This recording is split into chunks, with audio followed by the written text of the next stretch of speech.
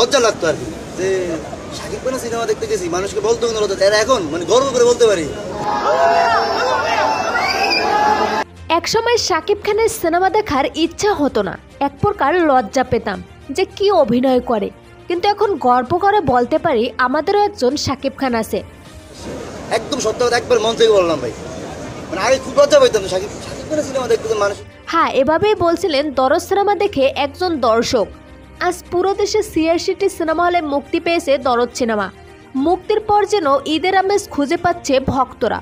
প্রত্যেকটি সিনেমা হলে মানুষের উপচে পড়া ভিড় দেখে মনে হচ্ছে আজকেই যেন ঈদ।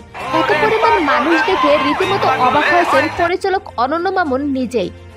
সবাই পাঞ্জাবি পরে আছে, এত লোকজন। অন্য ভক্তরাও বের হয়ে দিচ্ছেন নিজের মতো করে রিভিউ।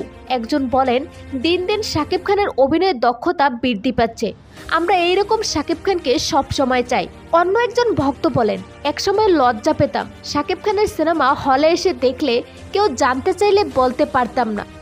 কিন্তু এখন গর্বকলে বলতে পারি শাকিব খানের সিনেমা দেখতে যাচ্ছি। অন্য একজন বলেন, দরদ প্রথম দিকে ততটা আকর্ষণ না থাকলেও গল্প যত এগোচ্ছে, তত বেশি আকর্ষণ আসে।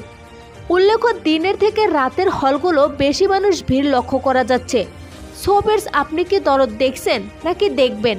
জানিয়ে দিন কমেন্ট করে।